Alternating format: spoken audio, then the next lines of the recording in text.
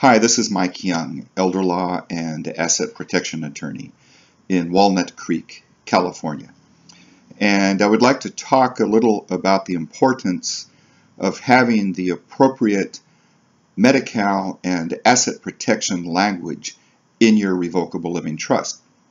So most people have a revocable living trust as the centerpiece of their estate plan and in the trust they have their home for instance and other assets.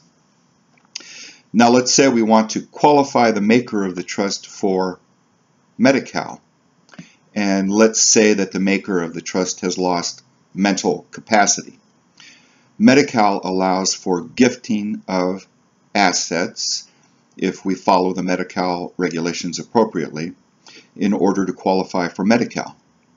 So now we need to gift assets out of the trust to family members, for instance, in order to qualify the maker of the trust for Medi-Cal.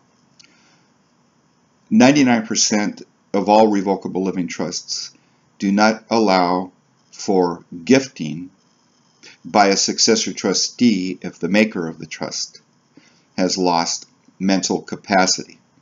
So we need specialized language in the revocable living trust that says that in the event the maker of the trust loses mental capacity and we need to qualify him for Medi-Cal, uh, then we can do gifting.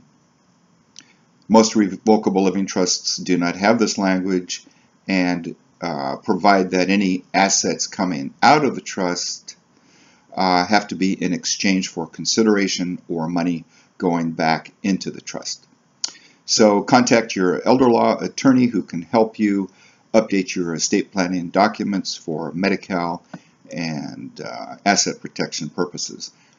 My name is Mike Young. I'm an elder law attorney in Walnut Creek, California. My website is walnutcreekelderlaw.com. Our phone number is 925 256 0298 and please feel free to contact my office for additional information. Thank you.